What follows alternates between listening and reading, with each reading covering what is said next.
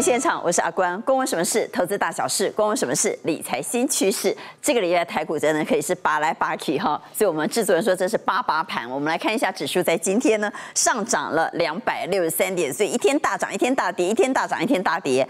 那么指数在今天是收盘收在两万零一百二十点，成交量四千一百八十七。我们来看周 K 线啊，那么周 K 线画面上你可以看到，这个礼拜是一个红 K 棒，所以这个礼拜是上涨了五百九十三点。但在上周是一个。长黑 K 棒大跌了一千两百点，换句话就是说，这个礼拜收复了一半失土。那我们来回到盘面来看，在今天重点股，台积电在今天大涨了六块钱，十六块钱啊。那么最主要是来自于 Google 和微软在盘后大涨，财报表现不错。那么另外高价 IC 设计股出现了破底翻，世新创意攻到了涨停板。比较罕见的是，比较特别的是阳明攻到涨停板，这是今年第一次啊。最主要是运价指数创下了新高。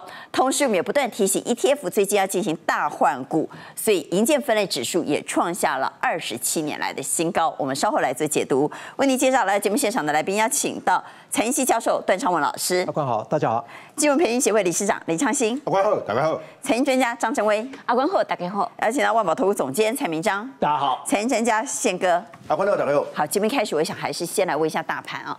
我们先来看台股。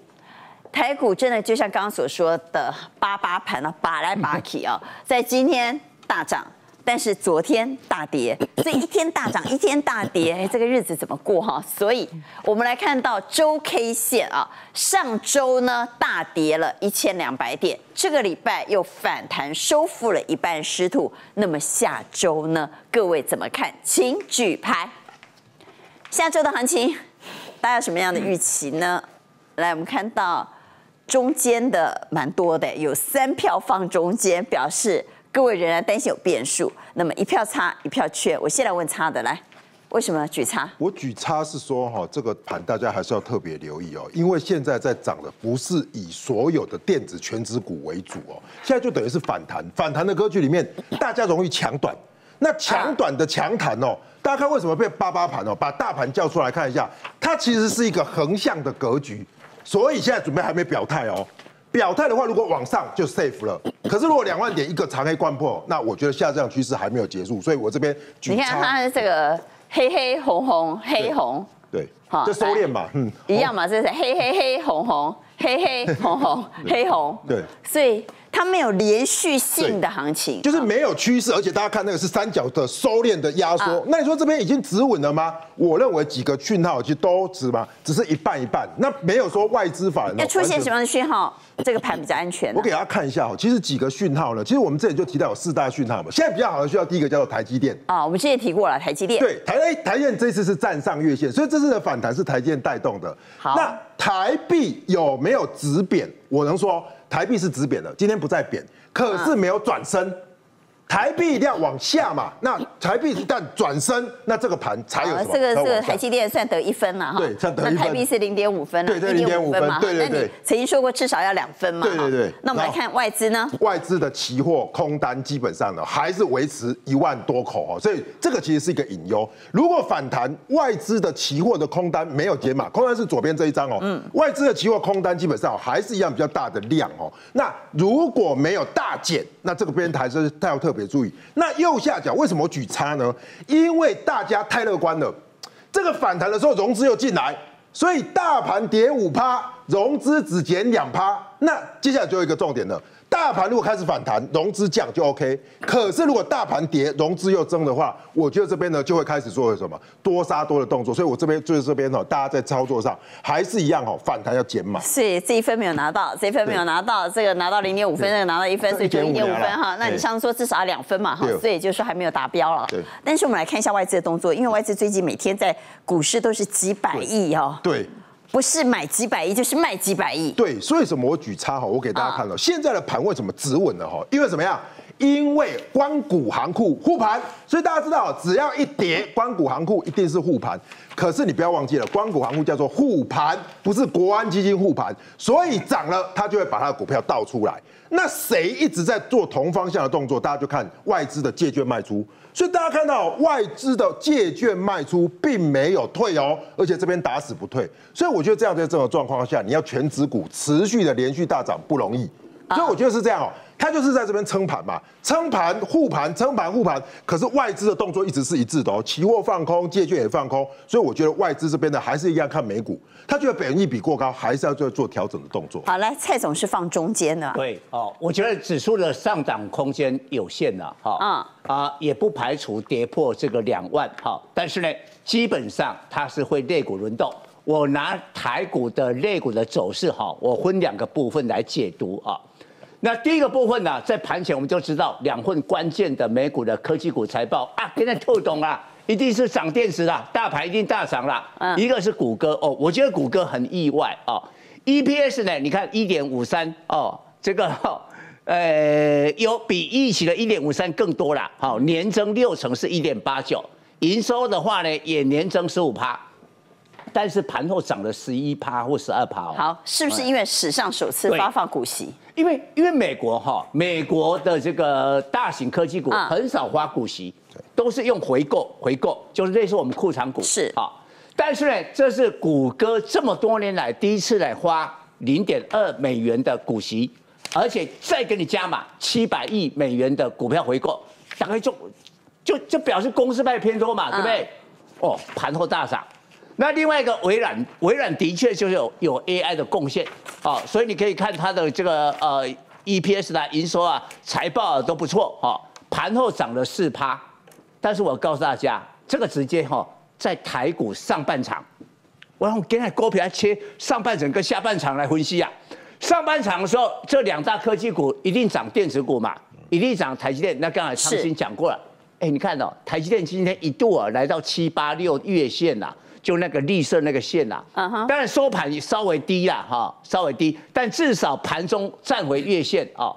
但是你来看一下筹码，从四月十八号的那一天话说开始算，到昨天为止，外资其实是卖超六点四万张。你看这个地方是靠谁？靠我们政府基金去护盘的啦。护到什么呀？护到它居然回到月线。那你看一下辉达，啊啊，辉达。绿色那个是月线，是辉达都还没有回到月线啊，AMD 就更不用讲啊，所以台积电就是靠政府护盘护到世界的科技股当中最强的。哎，你抢到这个地方，你能再抢吗？为什么？下半场这个好，美国的这个报告今天压抑了。你看昨天第一季的 GDP 一点六趴，第一期啊表现不好。对。然后第一季的个人消费支出 PCE 呢，三点七趴高一期，这是什么？经济下滑，但是呢，通膨还在高涨，大家就有疑虑，哎，你会不会停滞通膨啊？停滞通膨，所以你看到十年期公债收益率的话呢，就四点七趴，四点七趴创今年新高。哎，下半场或者下个礼拜要考虑这个因素嘞，嗯，这个因素把你大帽子压下来四点七趴。四点七趴，你你你看哈，今天呢，两年期的已经突破五趴，A 拉警报。你看哈，今天呢更敏感的，伦敦的铜期货来到了一公吨一万块了。我现在刚才看那个报价，首度的突破一万，嗯，哇，起来了，因为通膨嘛，对不对？是两人新高。上海这个集运啊，欧洲线的期货啊，我看下午一开出来哈，涨七趴。今年已经涨八十趴，创下新高。所以，来，我们等一下要投一下票。所以下周的主角到底是船产还是电子呢？我们也先来问一下宪哥对大盘的看法。来，宪哥。呃，我觉得下个礼拜应该你刚刚是举你是举中间嘛？对不对？对对对，应该分上个礼拜跟下个礼拜了。也就是说，在礼拜三之前，礼拜三之前应该是一个狭幅震荡。个别股表现的空间，但是礼拜三之后应该会分出胜负，也就是说，现在三角形的整理整理到尾端的时候，差不多就被做被多赢还是空赢已经决定了啦。以目前来看的话，空赢的机会比较大所以空赢的机会比较大。对对对，但是礼拜一、礼拜二，我不惜的高阳工被戏也跳三下，所以还有机会让你卖。很多股票，很多主力还没有完全出完，所以拜一拜一，这是一个非常好的卖出的机会。应该以这个盘来看，应该也都落来拍几支卡了。第二只脚来，对，段老师刚刚是举中间啊，举中间啊。呃，当然我们说昨天 S M P 五百指数是下跌是没有错的啊，但是大家有没有注意到哈？S M P 五百啊啊涨幅第一名的竟然是金矿公司。也就是一家纽曼矿业，它昨天晚上啊急拉了十二趴。但是我们看到，哎，对，金矿公司。所以如果金矿公司在急拉的时候，大家都知道说这个世界可能不妙，对于金融市场可能不妙。通膨，通膨。对，那当然我们说昨天晚上还有两个指标哈，也就是十年期的公债殖利率跟两年期的公债殖利率哈，突然间在八点半跟九点半突然间急拉往上，所以债券就是。狂跌嘛，那当然这两个指标的话，是对于所谓的美美国的科技类股的话是非常好的一个估值哈。那这个七呃，这个 Big 七啊，这个巨头啊，到底它的财报为什么真的这么重要哈？其实它贡献了这个 S M P 五百的话，超过大概六成以上哎。大家有没有看到啊？这个除了啊这个 N V D 啊，它的这个。呃，净利啊是创新高以外啊，其他的大概都水平啊。啊，有有两家，Apple 跟特斯拉都是负值。有两家还在，哎，还在下面，还负值的，对，是 Apple 啊，也是在这个平盘之下哈。特斯拉也是负的，嗯。所以啊，市场聚焦这个七巨头其实是有原因的哦。大家看一下右手边那个图形啊，右手边那个图形的话，Q one 啊，如果排除这七家以外的话，S M P 五百整个净利的成长率是负的六趴。第一季哦，所有的财报都还没有出来哦，被预测出来就是 S M P 五百它的第一季的所有公司四百九十三家。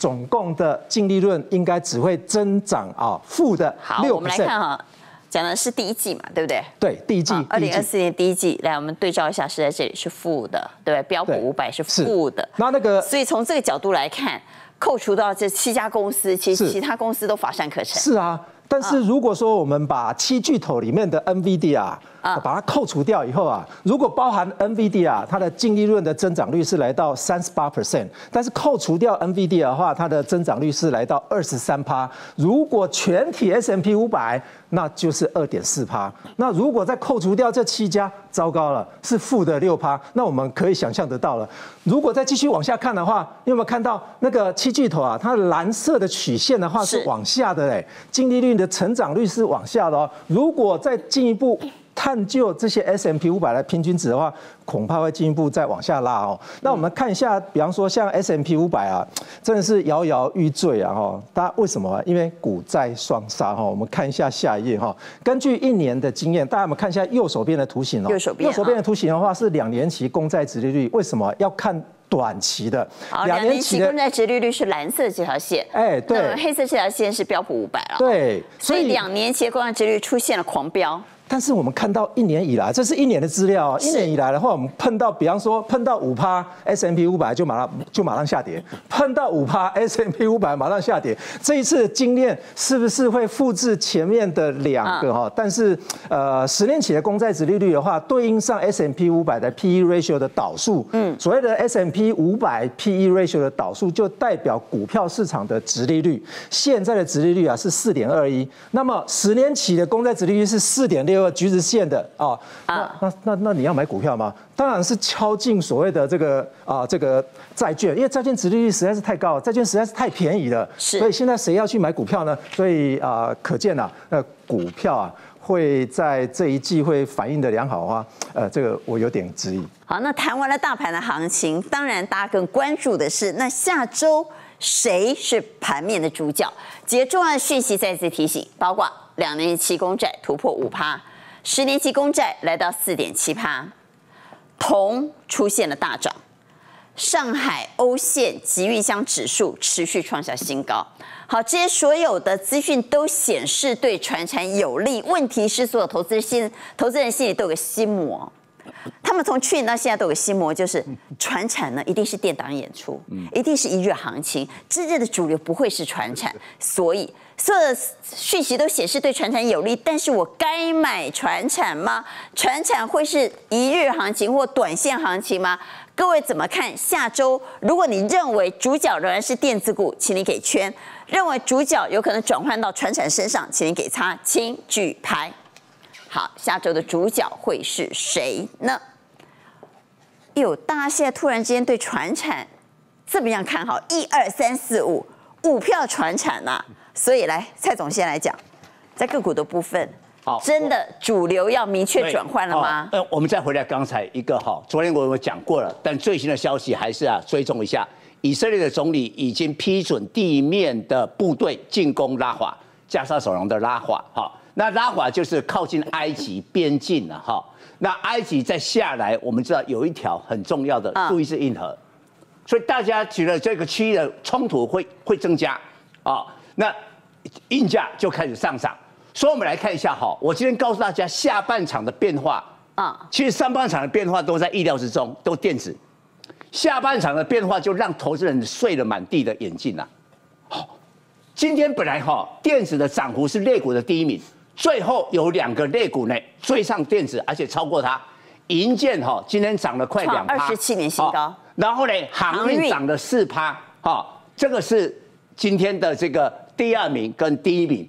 好，那为什么会这样变化？电子的成交比重，我告诉大家，资金永远是股价的先行指标。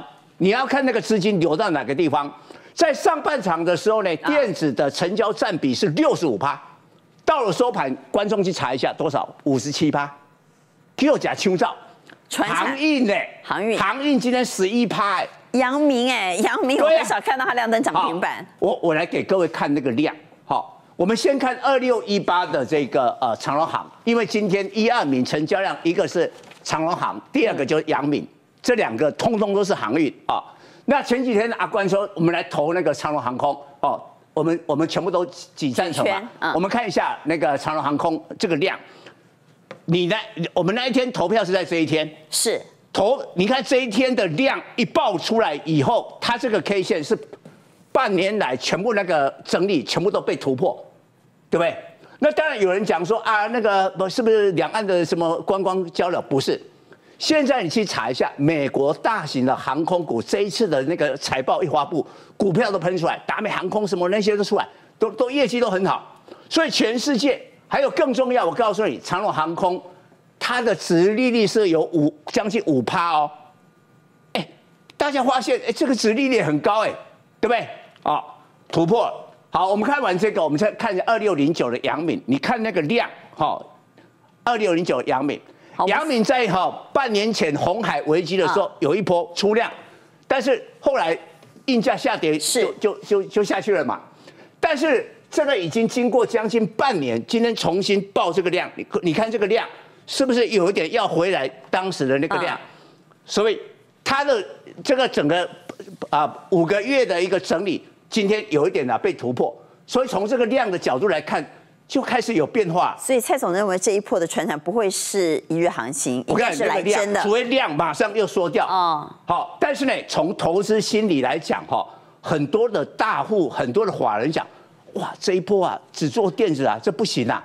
你你你现在好银建了，已经二十七年新高，银建那个那个，你你看那个二五零一的那个国建，国建我们讲过你看哦，啊，它今天开盘还跌，收盘是涨停板的。所以很多人要追求绩效，说下一个银建在哪里？航运，因为现在船产的是股息值率最高是两个类股，啊银建跟航运这两个，其他的都不高。因因为那个那个重点。所以大家刚刚船产都举圈，那我们就要来问一下，那船产里头的最好的选择，现在最优选择是航运吗？再来投一次票好了，来，那么最优选择会是航运股吗？请举牌。从航空现在似乎买盘已经扩散来到了海运了啊，那么有没有可能打拉法呢？会不会是最大变数？我们看到四票圈一票差。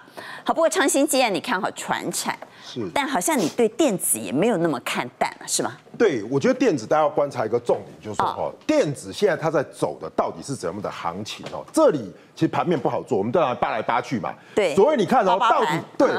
对啊，大家都一下做一下做空嘛。你看什么叫做撑盘的要角？就是台积电、红海、国巨哦。这边我请大家观察，就是红海跟国巨，其实这一波他们都没什么跌到，但是它已经什么都站上月线了，这个比较强势的格局。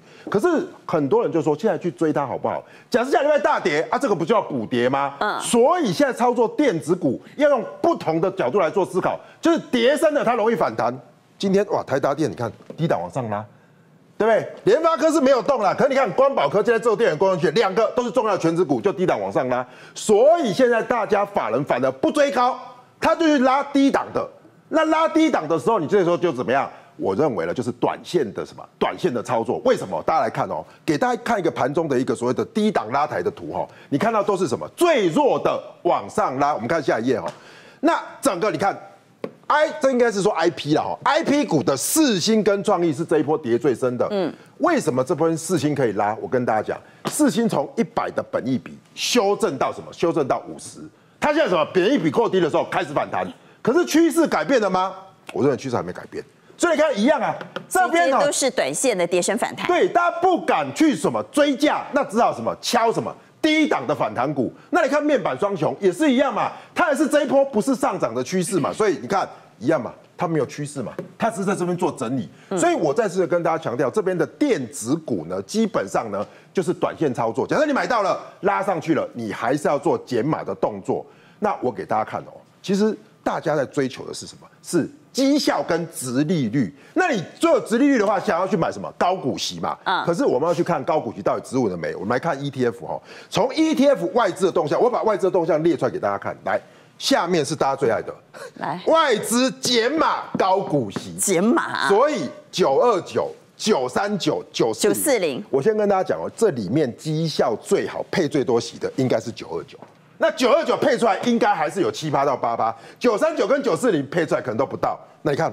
外资还没买回来，九二九比较贵啊。对，比较 对。那这个都什么呀？都还是没有止稳嘛。所以第一个，你如果要买高息的，对不起哦，现在的外资角度仍然在做减码的动作。那外资把钱放到哪里去？我们来看，都放到海外去了。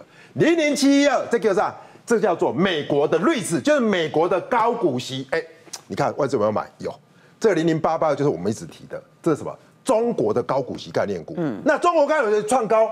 今天大家不要看哦，昨天我们在讲港股嘛，港股今天继续拉，是，所以港股继续拉，小米、腾讯这些拉，所以中国市场叠升的，哎，有高股息往上拉。那零零九十一就是科技类股，为什么开始买？有，但是还是偏弱，蛮少。所以我再次强调哦，这里的盘面，大型科技股跟电子股来说呢，它的整理的态势比较多，反而要找低值利率、外资有切入了这些所谓的外盘的市场，我认为才是机会。好，当然。AI 什么时候动也是关键。那 AI 要等 NVIDIA 吧？对啊，我不过 NVIDIA 的财报是五月二十号以后啊，但是会不会等太久啊？我们来看一下 NVIDIA 啊，现在有一些新的消息是黄仁勋还亲自送货呢啊。那他的第一台 DGX H 两百已经交货给 OpenAI 了，这当然对他而言是利多。另外呢，辉达砸下七亿美元要并一家以色列的 AI 公司。好那黄仁信哈这两天呢，把这个全球第一台的 DGS H 两百哈亲自哦，哎，他不是叫别人送啊，亲自你看这个画面哈，他亲自送到 Open AI，为什么要送给 Open AI？Open AI 就是全球 AI 的领导者，所以这个最好的东西一定要交给最厉害的公司来使用嘛。哦，你看很开心的跟这个奥特曼，就是这个 Open AI 的这个 CEO 哦，另外右边这一个哈。应该就是他的总裁，三个人呐，开心的同框合照啊，而且很重要，黄仁勋都是这样哈。这具有一个里程碑的这个 AI 的超级电脑，在这个外壳上面一定要大笔一挥哦。你看他名字签名吗？都签名了，来签上大名签上他的大名。对，好，签名哈。我告诉你，这个签名哦，黄仁勋就聪明。很重要的时刻，重要的场合，这个东西把一签名以后，哎呀，现在就是 AI 的这个什么先知啊，因为他不是第一次把这个超级电脑送到 OpenAI，上一次第一次每次都签名吗？对，二零一六你看这个照片啊，二零一六的时候呢，他是送啊这个 AI 的，当时啊，因为技术没那么厉害嘛，不过已经是当时最厉害的，叫 DGS One，他用八块的这个 P 一百的这个晶片做成这个超级电脑，也是冲亲自送到 Open AI。你看这个照片里面有一个大家都认识的人，特斯拉的马斯马斯克。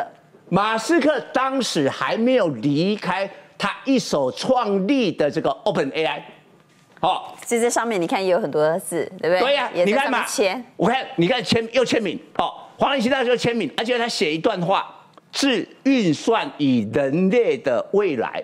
哎，我告诉大家，当时二零一六，你看到黄仁勋写这个，哦，你你这台机器是人类的未来，你想，哇，你超多啊，那我还搞。但是你现在过，现在看起来是哦，是啊，啊是，问题是你没有签名签在那个地方，谁相信呢？嗯，要有证据，要有证据嘛，有图就有真相了嘛，有这一张哦，是，那我黄仁勋是不是最厉害的？AI 都是听我的，我的公司辉达是不是最厉害的？是啊，是啊，我觉得他这这个哈 真的是蛮厉害的，好。当然哈，这个辉达哈，现在这个在 AI 的这个投资的这个情况，它是扩大它那个版图啦。好，二零二三年就去年，它就有十四笔的这个投资，它里面呢做什么？哦，做一些这个能源的软体啦，AI 的生计啦，哦，然后呢这个数据分析的平台啦，这些公司啊都投资。那最近又去诟病了以色列一个 AI 的独角兽。Run AI，好，用七亿美金，哎，这蛮大手笔啊。是。那上一次在以色列的话呢，是那个麦伦科技用六十九亿，那是二零一九年啊。那我们来了解一下，什么叫 Run AI，做什么东西哦？它是 AI 基础设施的架构跟管理平台。好，讲听不懂，我这样讲。我现在是一个公司，我跟辉达买了很多的 GPU，放在资料中心去 Run。但是我怎么晓得这个 GPU 哈如何使用它的利用率最高？哎，我什么情况我要用哪些的 GPU？这个管理哈，Run AI 就负责这个管理，管理的一个平台。嗯，所以大家哈买了那么多的资料中心，买了那么多的辉达 GPU，要不要顺便啊来来来管理一下？所以啊，Run AI 有没有前途？有，用七亿美金两百个月台币把一投资。所以哈，不然这个 AI 的这个发展就会不断的。那辉达都注意到这个领域的，哈。是。但是呢，我们说 AI 哈，一定要贴近那个生活啦，哈。对。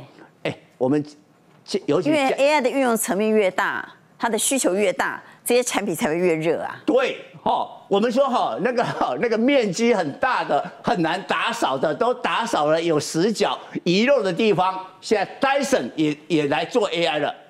哎吸尘器啊，Dyson 哎，对不对？那 Dyson 是送什么？无线的吸尘器。嗯，好，这个吸尘器里面呢，它还有一些啊，这个光学侦测的吸头。好，那它是侦测什么？它是侦测你哪些地方没有吸到？对对对对对对。哦，你要先用你的手机有一个光学雷达，好，去扫描你现在扫的，比如这个房间，哦，这个地图弄起来，然后用 AR 啦，好。呃，这个 AR，然后去有需要这样吗？那除非他是处女座。我告诉你，我们家不用啦，我们家二十平。因为我觉得中间呢，吸地的时候有一点缝没吸到，有什么关系？还要妈妈讲，你看这个人一定是处女座啦。但是我告诉你，只要三 D 电视台那个面积很大的，是不是要这个？要啊。我们家不用 要啊，大公司的行号啊，那个面积我觉得这样啊，百货公司啊，卖场啊。我建议是扫地机器人装这个 AI 软体比较重要了，扫地机器人知道比较重要。我们还自己这边盯说，哎呦哪个地方有没有扫到啊？熊骗吗？好了，但是 AI 确实已经越来越贴近我们的生活了。对对对，啊啊，但是哈，贴近生活也不能太 over 了，太太低俗了。好，这个是什么？华为的那个 P 七十啊，不是很厉害的手机吗？闪拍啦，哈。啊，那个 AI 也可以啊，一键的修修图啊，但是你也不能修过它。比如那个正妹啦，哈，她本来是这样，要修她的胸前的衣服啊，一修以后，哇，衣服消失啊。本来 本来衣服是穿到这里，哦，不要，不是，我们摄影大哥一定觉得这个软体好的不得了。所以华为的这只手机呢，搞不好很多男性啊消费者会去买哈，也一修图，哎啊。哎，他很厉害，你看他不是只有把衣服修掉，人家还帮他戴了一条项链。对啊，是不是？好，北拜然后，但我们回来讲呢，蔡总，我们来看个股啊，因为 AI 的应用层面越大，它的产业的外溢项越大。比如说，要不是没有，要不是因为 AI，台积电需要一直去设厂吗？特别是高阶制程。要不是因为 AI，美光要一直扩厂吗？这次美光拿到不少钱呢。对呀，美光又拿到六十亿美金，人家拜登总统还跑到纽约的雪城里面，特别去宣布这些事情，因为美光哈是美国系统的啦。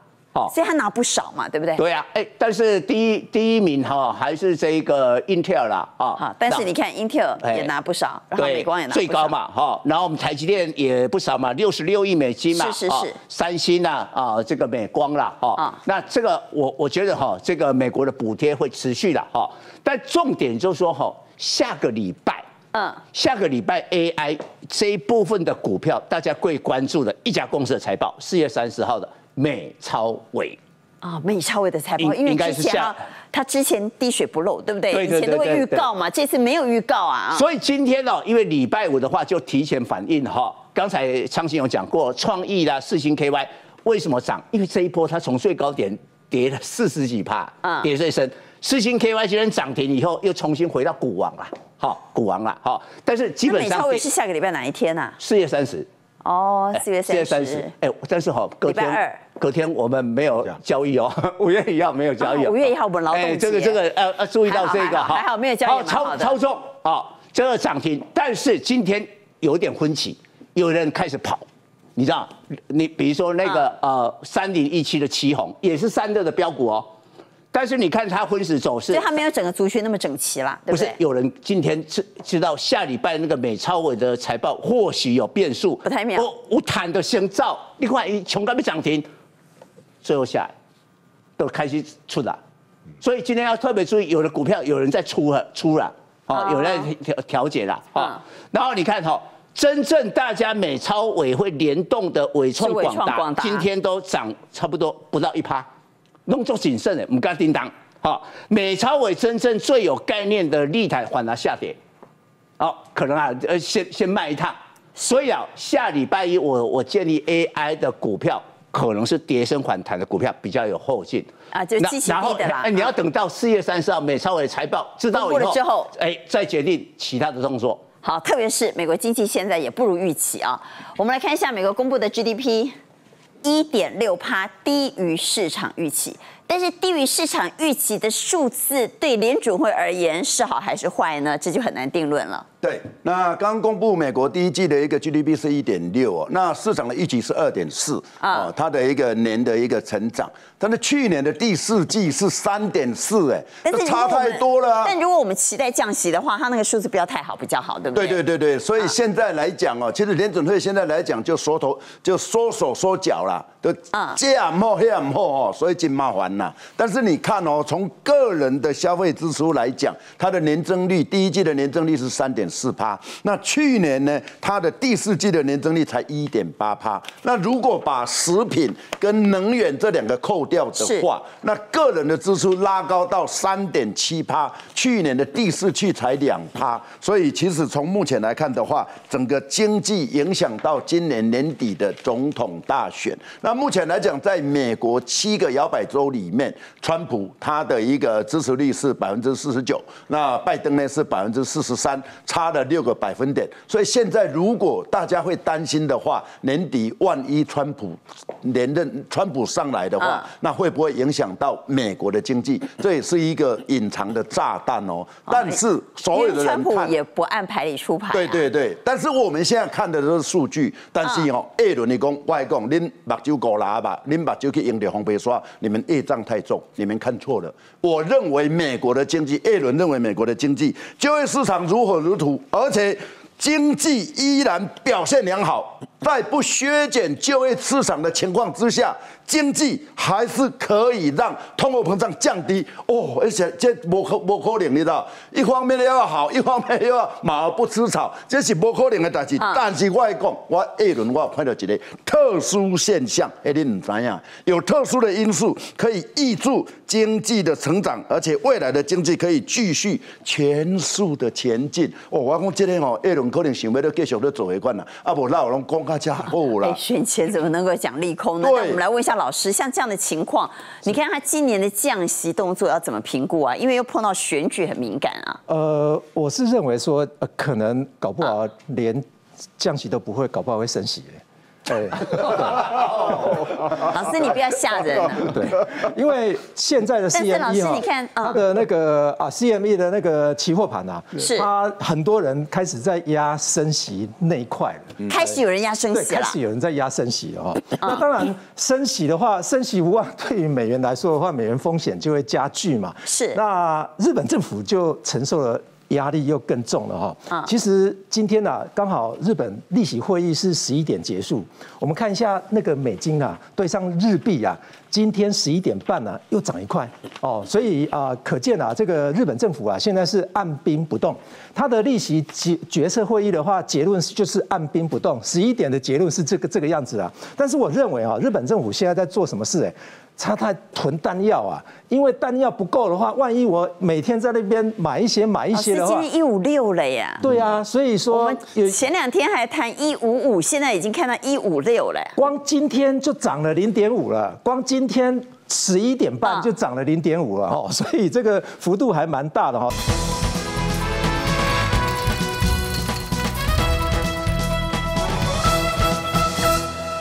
前两天还谈一五五，现在已经看到一五六了。光今天就涨了零点五了，光今天十一点半就涨了零点五了哦，所以这个幅度还蛮大的哈。其实日本政府真的是两难的哈，他又要顾汇率，又要护盘，所以我们来看一下哈，汇率升贬对啊这个东证公司所谓的 EPS 的影响度哈。你看一下一五五的时候啊，它的 EPS 啊啊预估今年可以涨到啊百分之七点六 EPS。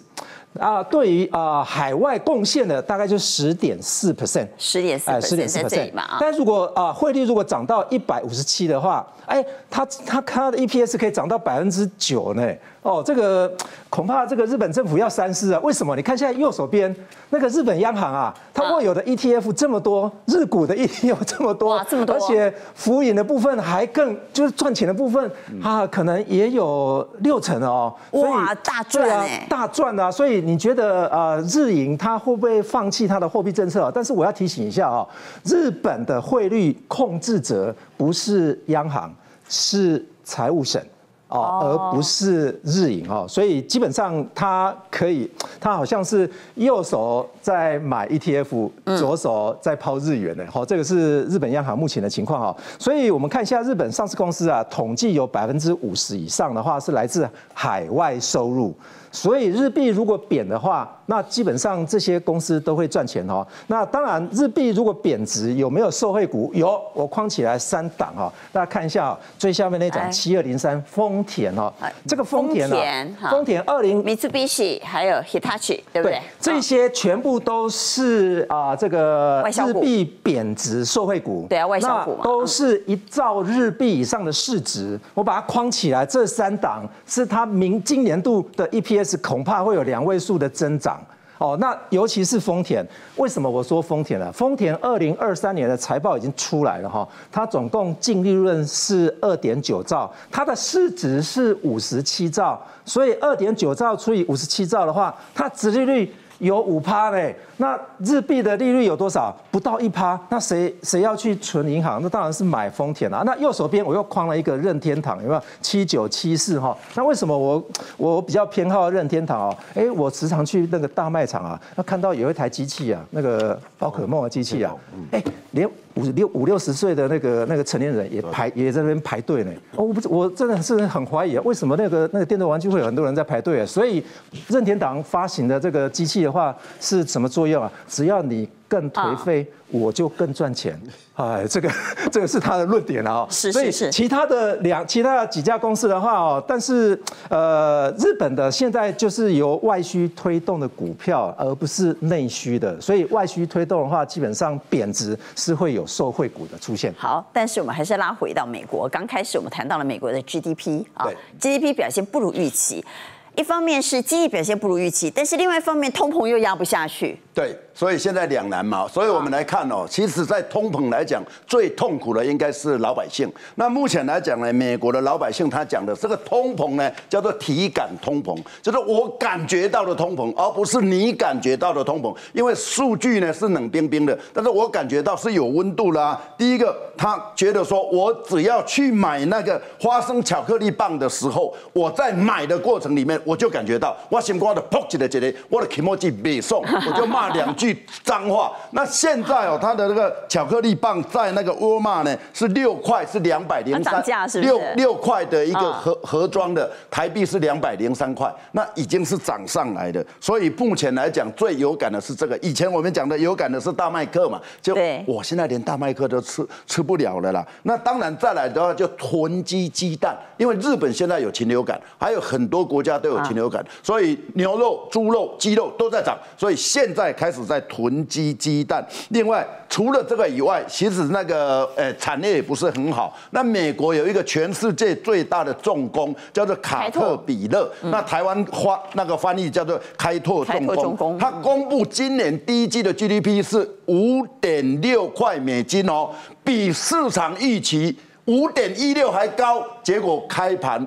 股票跌了四趴，为什么？因为它的营收一百五十八亿美金，比市场预期一百六十亿美金差两亿美金，竟然跌四趴。其实就有人已经看到了，就是说你现在未来经济不好，我怎么可能去买那种大型的机具呢？除了这个以外，那么对中国来讲，中国最近有两个，因为美国人现在网购的一个机会增加，那中国的拼多多呢已经到美国去了。第二个，中国有一个女性服装的快时尚，叫做。因那吸音呢？现在在美国非常的流行，所以呢，现在瑞银说，未来的五年，美国的零售业会倒四点五万家，尤其纺织业有关的零售最严重，会倒一点六五万家。那现在美国的穷人怎么办呢？上有政策，下有对策啊。穷人现在说，哎，我已经没办法脱贫了，我对未来完全没有盼望啊，那怎么办？那我顾好我自己的生活，我有钱，我要吃龙虾大餐。我有钱，我要买大型的电视；我有钱，我要买昂贵的化妆品。那房东的那个房租会放在后面，嘿，跟我没关系。哎，我做一个人呢，我有我有权利吃大餐啊。付房租，反而去吃龙虾大餐啊？对，因为我我要安排我自己的人生啊，我有权吃龙虾，而且我平常吃了那么多，吃久了也会腻啊。我一定要吃龙虾，为什么你们可以吃龙虾，我不能吃龙虾？那我的人生就是这样子，我要人生活得快乐。好，我跟这个脱脱贫已经没有关系了，但但是。还是有少部分的人说啊，一定要断舍离啦。所以美国现在有逃离师，帮你逃离贫穷，就脱离贫穷，变成财务自由。第一个，你先要去银行开一个新的户头，这新的户头里面，你每个月存入的钱都不能花。除了以后创业才能花，第二个你一定要什么？一定要搞好新的人际关系，你可能要加入不一样的社群。第三个要脱离那些废柴的朋友，那些已经躺平的，那些悲观的，你该以后你也可以毁掉，你知道？所以现在出现两极化的现象。所以现在美国有一种职业叫做逃离师，教你怎么样逃离贫穷。好，我们回来看中国的情况了哈。那中国呢，最近有穷鬼套餐，其实是异曲同工之妙。但我们回来看中国的太空呢，特别是在太空竞技赛，它持续的保持领先。太空的神舟十八号不止载人，现在在鱼上太空了啊。关键原因什么呢？他说为什么要选鱼呢？因为它和人类基因有八十七 percent 是相似的。没错，其实我真的觉得看这个新闻很震撼哦。其实阿关，你知道马斯克真的要小心了哈。你未来说不定你不只是电动车会被中国超车，说不定你要这个进军。移民火星计划，搞不好会哦丢过超车哦。我跟你讲，这是真的哈。目前为止，就在二十五号，就昨天晚上哦。这个中国，它在酒泉的这个卫星发射中心，它载了两样哦，一个是它呃它的神舟十八号的太空啊这个太空站里面有人哦，那另外一个部分就搭载它的火箭，它上顺利升空。你知道它里面有两样东西是正式的一个交接，一个部分哈阿关你知道，还有一个部分是交接什么？就是在太空站里面做了交接，而且这是非常快速的交接。另外一个部分在短短十分钟之内哦，还有就是人的交接，也就是在神舟十七号跟十八号之间人三。个人这样交接，那这里面哦，其实阿威你知道，它里面哦就是现了这上上面三个人，其实它有几样重点，大观众朋友你要。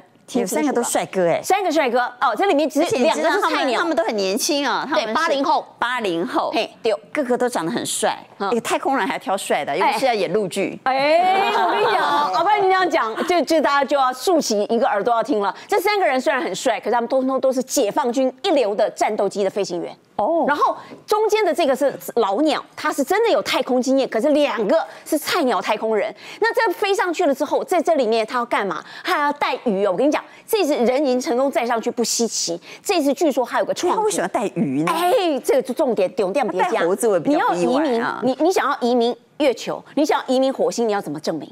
哎，他这一次是创举哦，全世界目前外太空只有他们带了斑马鱼。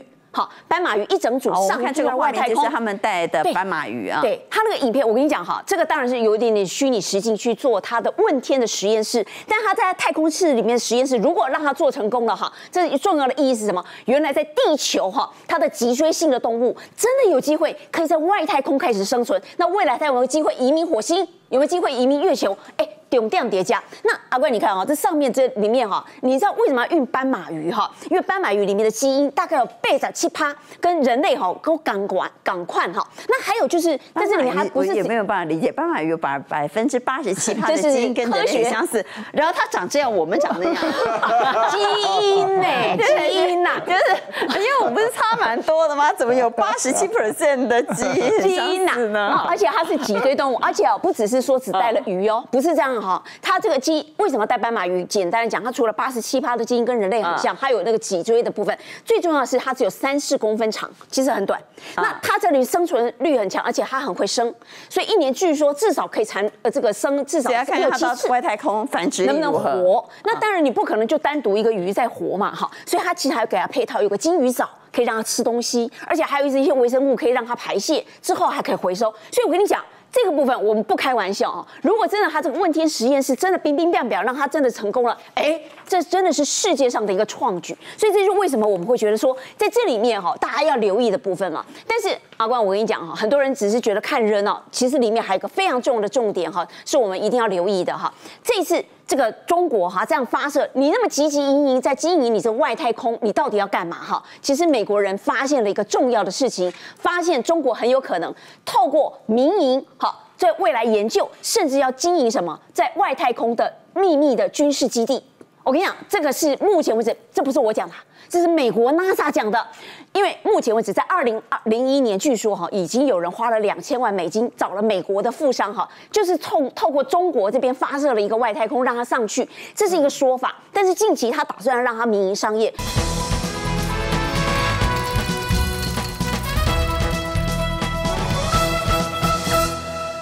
中国里面，大概有三百七十家都是民营企业，专门在做外太空移民的部分呢。那在这里面，到底金额跟未来怎么样，不知道。但是据说近期大家预计在二零二五年哦，也就是明年，真的要把人哦送上的这个外太空，哎，在大家拭目以待。而且金额据说不会太贵，那八天的行程，所以在这里面真的是要跟这个中国尬，呃，这中国美国要尬身。可是我觉得这里面有个重要的重点哈，就是说究竟你这个美中国，你这么积极影想要进。这个美国呃，这个火星跟月球，你到底背后是什么样的一个想法？你知道阿关啊，近期在二十四号，他不是二十五号才刚把这个这个外太空太空站跟飞舰给呃火箭给弄上去吗？马上就在二十四号，美国已经先发制人。他直接就在这个呃这个联合国的安理会，对他开始发现中国这种竞争很奇怪。他在过去六年之内发射了三百五十几颗的卫星，直接上外太空哈。那在这里面六年之内成长了超过三倍。你要干嘛？你知道它里面的卫星是什么吗？哎，情报卫星。征收卫星，还有一些那个监督的卫星。很多人讲，你知道他要干嘛吗？未来如果发射了一大堆卫星，收集情报，他很有可能干嘛？他直接会从制空权、从外太空来指导、瞄准台湾。你知道这个东西，这是一个这个。大家研究的一个说法哈，不是我自己一个人这么说。那目前为止研究，NASA 是决定，如果说现在有人去那个会去支持中国这个计划，你知道是谁？就是俄国。俄国最近想说啊，你中共你要去移民这个月球对吧？哎，我支持你，我们要到月球定居，所以我要提供什么？就是核电厂。哦，在上面就后来发现，它两个重要目的，一个核电厂有没有可能从外太空搞核武啊？美国和日本提了一个案子，就是在联合国安理会啊，提说。不让大家在外太空部署核武，对，那总共十五票，有十三票都赞成，但是你知道安理会有一票反对就不行了哈，对，那反对那一票就俄罗斯了，他就反对，因为他自己就想搞核武，对。另外呢，中国那一票是弃权，嗯，对，他说我两边都不得罪，好不好？我就不要投票了，所以这个案子是没有过关的。好，最后一点点时间，我们来讲一下今天的三大法人，外资在今天是买超了两百零五亿，那么三大法人总计买超两百七十亿。所以目前看起来，外资的筹码仍然是偏多的。